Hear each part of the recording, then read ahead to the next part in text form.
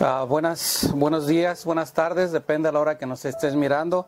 Eh, es un placer para nosotros tener a, a Ricardo con nosotros. Gracias Ricardo por, por Gracias. estar aquí con nosotros. Sean todos bienvenidos. El título de la lección de esta semana se llama La derrota de los asirios. Y acu- recuerda que estamos invitando para que podamos memorizar los versículos de memoria. Y en esta, en esta oportunidad se encuentra en, Isa- en Isaías 37, 16, que dice, Jehová de los ejércitos, Dios de Israel, tú que moras entre los querubines, solo tú eres Dios de- del reino de la tierra. Tú hiciste los, los cielos y la tierra. Así es que te invitamos para que puedas hacer eso. Eh, ¿Qué te pareció la lección de esta semana, Ricardo? Ah, pues es una lección bastante interesante y pues todo lo que sube tiene que bajar. Todo lo que sube tiene que bajar. Así es. Ah, antes de adentrarnos a la lección, quisiera comentar que el, el imperio asirio era un, un imperio que era bastante sanguinario, vaya, ¿no? Cualquiera le, le tenía miedo, Sergio, todos escuchaban de hablar, hablar de los asirios y preferían, ¿sabes qué?, entregar todo antes de ser, antes de ser muertos. Estaba leyendo en la semana que eran tan crueles que los desollaban, les, los desollaban, les quitaban la piel.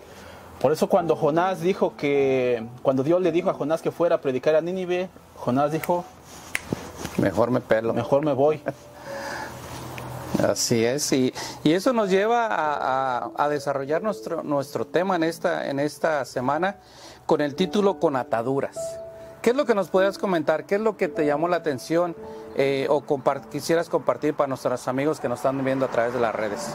Pues sin lugar a duda, eh, Ezequías precisamente inició su reinado con ataduras. ¿Por qué? Porque su padre lo que hizo fue heredarle prácticamente ¿Todos los problemas? todos los problemas, las deudas, y lo que trató de hacer Ezequías es tratar de librarse de, de ese problema que había causado su padre, ¿no?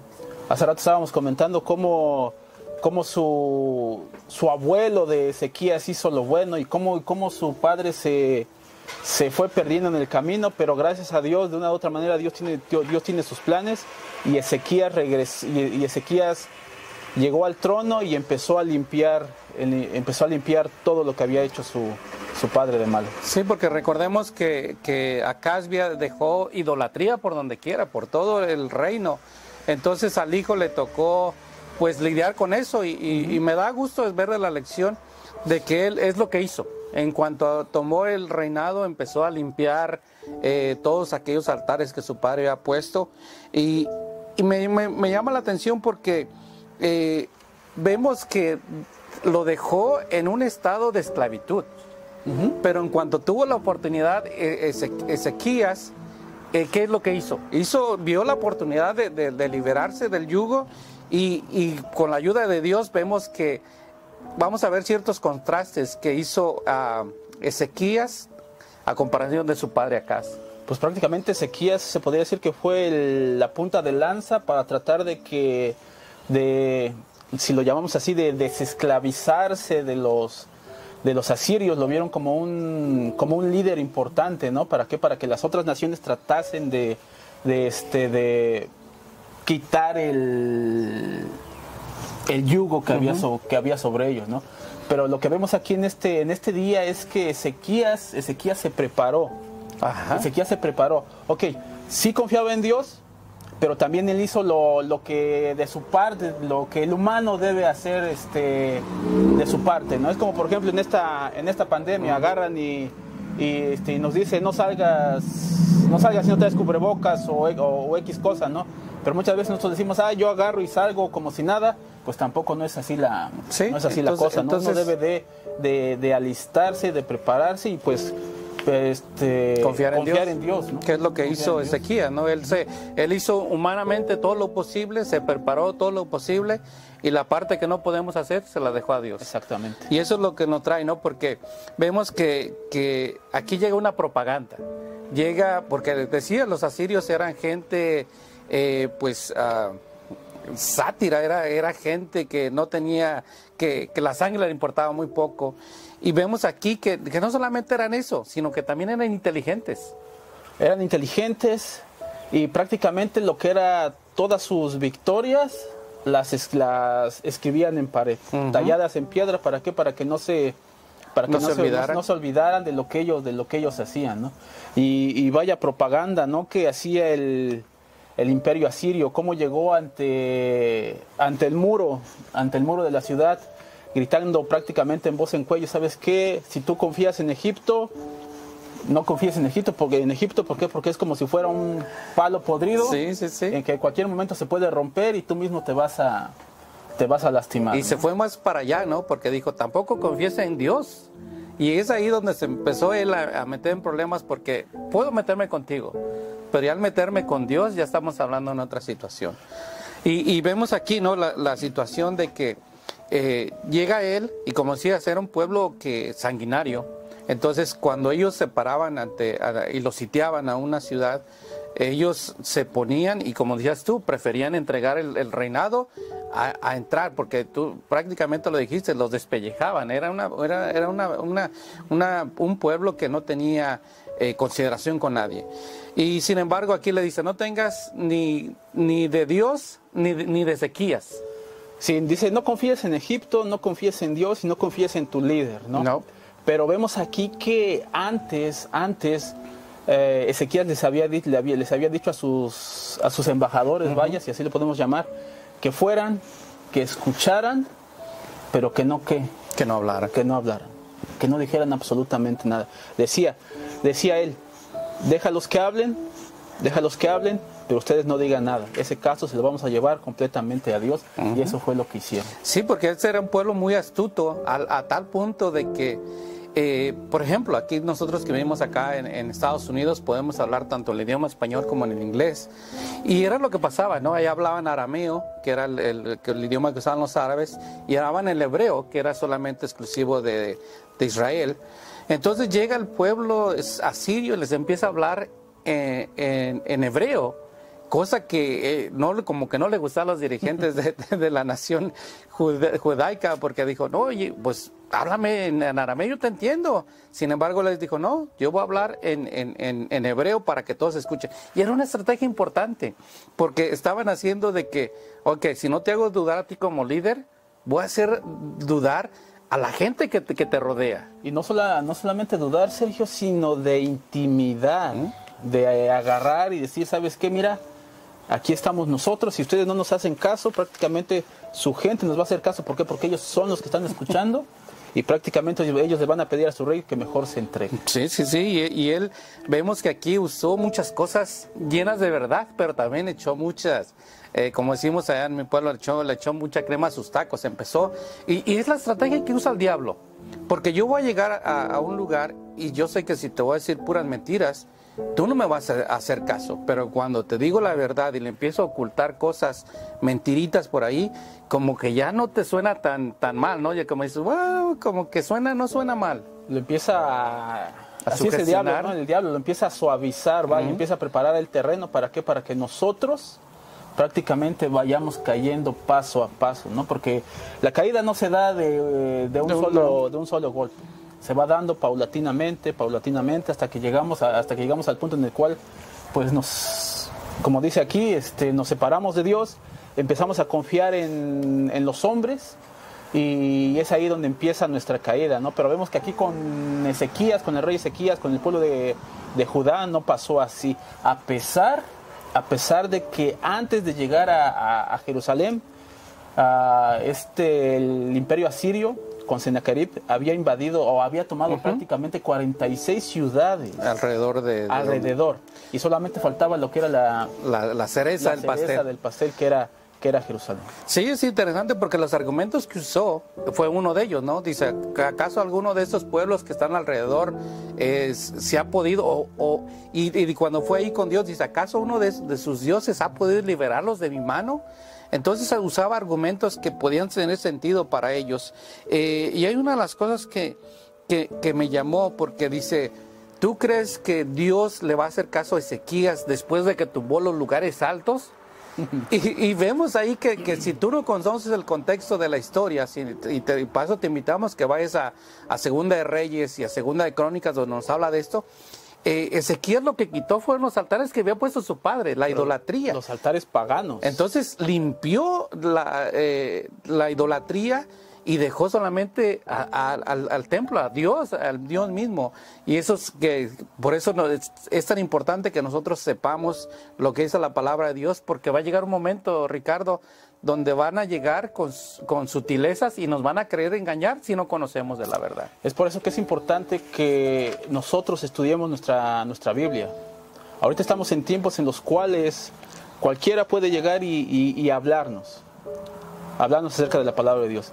Pero el firme fundamento está en la Biblia.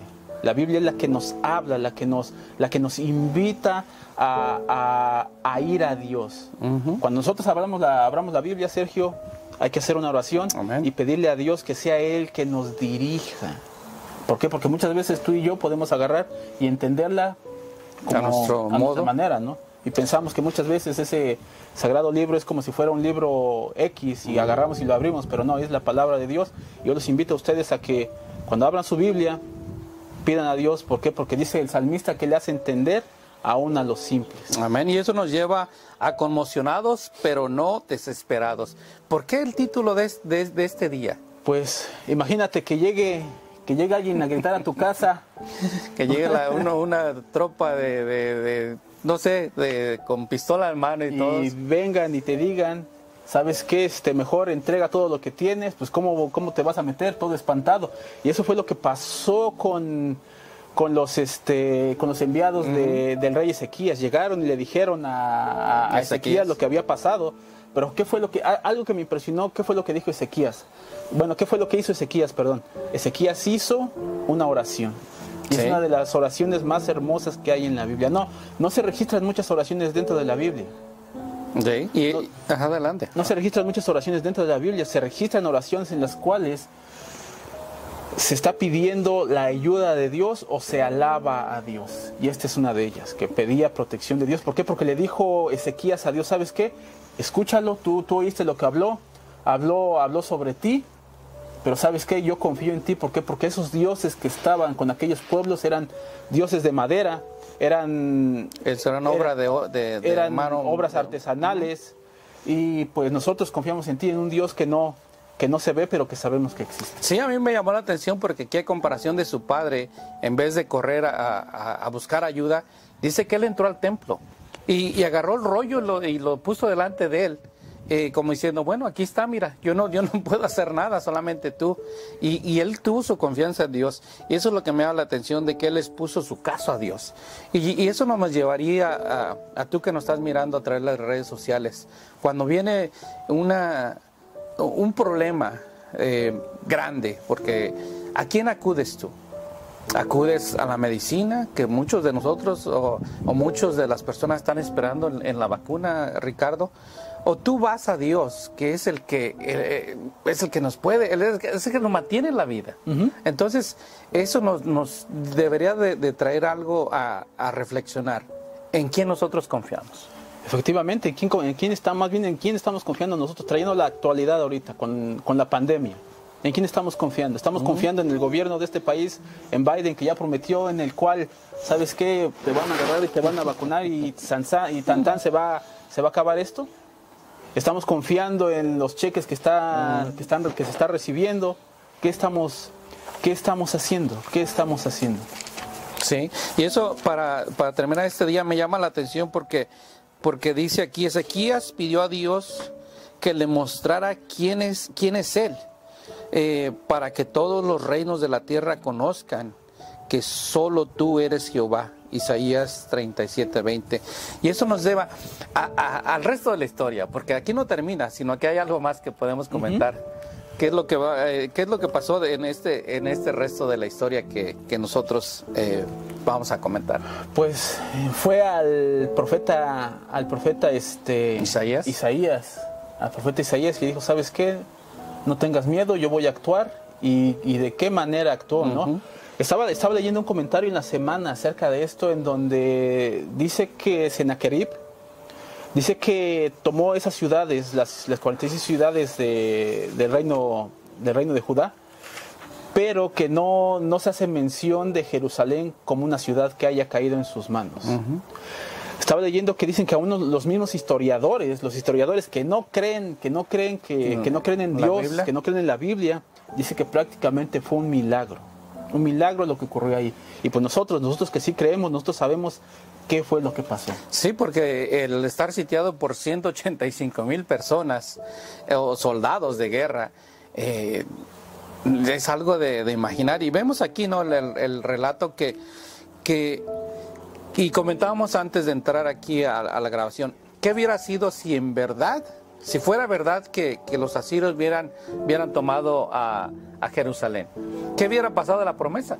Pues un punto bastante importante que prácticamente la promesa del Mesías hubiera terminado. No hubiera habido Mesías. Y, y es lo que estábamos hablando hace rato antes de entrar este, de que prácticamente todo esto, todo esto, todo lo que sucede, todo lo que sucede en el mundo es, es tramado por el diablo. Y aquí el diablo lo que estaba tratando de hacer era de que, de que, de que, se, de que se cortase el linaje. ¿Por qué? Porque el Mesías iba a venir de dónde? ¿De qué tribu? De la, de la tribu de, la tribu de, Judá. Sí, de, la, descendencia de, David, De la tribu de Judá. Si si Senaquerib hubiera tomado a, a, Judá, prácticamente el Mesías hubiera, no hubiera existido y nosotros pues ¿qué hubiera pasado? ¿Qué esperanza tuviéramos? ¿Qué hubiera pasado? ¿Tú qué esperanza tuvieras? Y, eso es lo, interesante, ¿no? De que vemos que, que sí, que como decías al principio, que los asirios tenían relieves de, de, de las guerras que habían tomado, y allí no hay ninguna. Se dice que lo, que lo quizás como, dice la lección, que lo acarroló, que lo tuvo como un pajarito, a lo mejor está hablando de los días que lo tenía sitiado, pero en realidad no, no pasó nada en, ese lugar. Pero llegamos casi al final de nuestra lección en la enfermedad y, la, y en la riqueza. Vemos aquí que, que el rey Ezequías eh, pues volvió a levantar a, a Jerusalén, a hacerlo una nación importante, pero ¿qué pasa con él? Esta historia es una de las historias que más me gusta en la Biblia eh, y yo la, yo la uso ah, precisamente cuando voy a visitar a un enfermo. ¿Por qué? Porque aquí ya había pasado todo esto, pero Ezequías cayó enfermo. ¿Qué enfermedad no se nos dice? Solamente que tenía una, llaga. Y, y, fíjate, es lo, me, me da la atención que cómo Dios se preocupa de nosotros, porque aún va el, el, profeta y le dice, te quedan tanto tiempo. Yo creo que sería una bendición para nosotros, ¿no? El, el, que nos viniera y, ¿sabes qué? Te queda tanto tiempo, prepara tu hogar. Pero prácticamente lo que hizo este Ezequías dice que nuevamente volvió a quién? Volvió a Dios. No fue ante, no fue ante el profeta, no fue ante el médico, sino que agarró y le dijo a Dios, ¿sabes qué Dios? Escúchame. Nuevamente otra oración de Ezequías. Y, y Dios nos escucha. Escúchame y ayúdame. Y fue cuando, y, dice que los oídos de nuestro Dios pues están que atentos a están atentos a nuestras peticiones. Y están atentos a tus peticiones también. Para qué para que tú puedas ir ante él y, no contarle a un humano no contarle al vecino no contarle al doctor sino contarle al mejor psicólogo al mejor doctor que nosotros tenemos que es Cristo Jesús. Y vemos aquí y vemos aquí que Ezequiel se enferma pero viene después algo que a mí me, me pone triste, vaya, ¿no? Porque una vez que sanó, ¿qué fue lo que pasó, Sergio? Sí, fíjate que antes de ir con eso, eh, me llama la atención porque en, la semana que andaba trabajando, alguien agarró mi, mi, mi número o mi messenger del, del, Facebook y me empezó a mandar, hola Sergio, ¿cómo estás? Y, y me empezó a, a, tratar de, de, de, vender algo, ¿no? O de que entrara en un, en un negocio con él.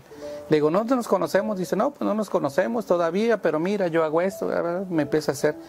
Y yo me quedé pensando, y bueno, si este tuvo la audacia, el valor de, de, mandarme un mensaje para ofrecerme uno de sus, de sus negocios, ¿por qué yo no le voy a hablar de Dios?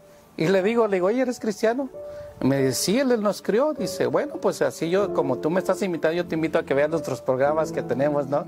Y, y eso me da, ¿por qué? Porque tenemos que aprovechar eh, cualquier oportunidad que nos da. Y es lo que pasó aquí con, con Ezequiel, no me preguntabas. Eh, cuando, porque vemos que, que aquí los, los sirios, eh, Babilonia, era persona que le gustaba mirar y examinar los astros. Y ellos notaron, notaron que, que, la sombra se movió, pero no se movió en una forma natural, se movió a la inversa. Regresó. Se regresó. Y ellos luego lo supieron, ¿no? Dijeron, ah, caray, aquí algo, algo, algo sobrenatural está pasando.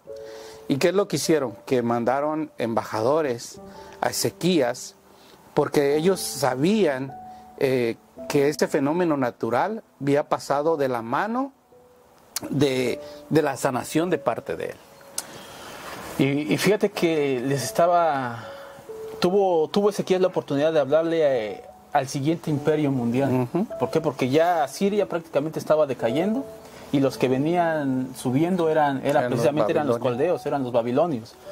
Y llegan y, le dicen a Ezequías, bueno, ellos querían saber qué, qué, había pasado, por qué, cómo sanaste, qué fue. Y ahí era para que Ezequías agarrara y, les contase qué es lo que había dicho, dicho este, qué es lo que había hecho Dios por él. ¿Y qué fue lo que hizo Ezequías?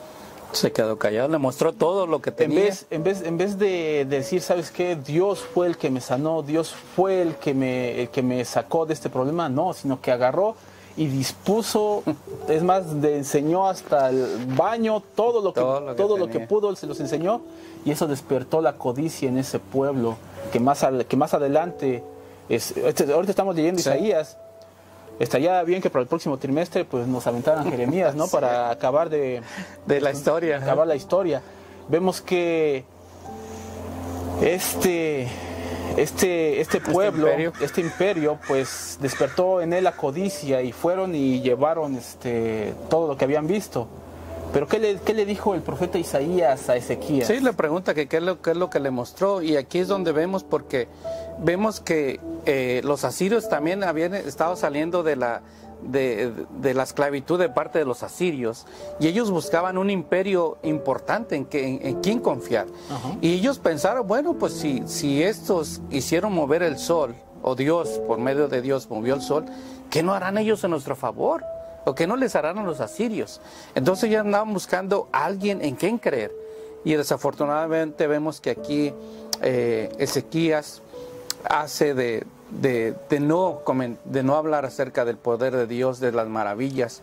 Y yo creo en esta, en esta, en esta oportunidad, eh, Ricardo, lo que nosotros estamos haciendo a las personas que nos están mirando es que ellos busquen a Dios. Exactamente. y, no solamente que lo busquen, sino que aproveches la oportunidad que, nos, que te dé Dios de que cuando llegue alguien, una persona, quizás llega a tu, a, tu casa eh, eh, teniendo una necesidad de oración. Entonces tú vas a orar por él, pues no lo dejes ahí invítalo a, que conozca más de Dios. Porque a veces, eh, Ricardo, nosotros vamos con alguien y le decimos, pídele a tu Dios que ore. Pero dile, oye, ¿por qué no, no, hace, no, no nos juntamos para que mi Dios sea tu Dios? Y que de esa forma podamos compartir. Así es que, adelante Ricardo, vamos casi a terminar con estos para que podamos... Pues sí, únicamente, únicamente nos, nos resta decir que Dios está abierto a escucharnos en todo momento. En todo momento está dispuesto a escucharte. En todo momento puedes ir tú con Él y platicarle cuáles son tus problemas, cuáles son tus ataduras, cuáles son tus enfermedades. Puedes ir con Dios absolutamente para todo, que Él es el que te va a escuchar. Amén. Y, si tú le pides con fe, si tú le pides con fe, Él, él, puede obrar. Algo que yo estaba pensando, en que no solamente, este es, este es mi, mi punto de vista, muy particular que no solamente le hubiera dado Dios 15 años de vida a Ezequías cuando hubieran venido los embajadores babilonios. Tal vez Dios le hubiera dado o le hubiera prolongado la vida un poco más. Un poco más. Pero ¿qué fue lo que hizo Ezequías? Prefirió mostrarle todo. Y muchas veces nosotros nos comportamos así. Muchas veces nosotros en lugar de, de decir las maravillas que Dios ha hecho con nosotros, agarramos y decimos he obtenido esto, he obtenido lo otro, he obtenido aquello, pero nos olvidamos de quien nos da absolutamente todo. Y en estos tiempos, en estos tiempos es importante que tú y yo alabemos y glorifiquemos a Dios. ¿Por qué? Porque aún estamos bien. Así es que te invitamos a que si tienes algún comentario aquí lo dejes, www.aulasem.com. Y también te invitamos a, nuestros programas que tenemos durante la semana. Ricardo, eh, tenemos programas eh, los lunes, tenemos un programa que, que, tenemos titulado Secretos de Salud, donde ahí tenemos a, a una doctora naturista, tenemos a un nutriólogo, tenemos tantas cosas y te invitamos para que lo hagas.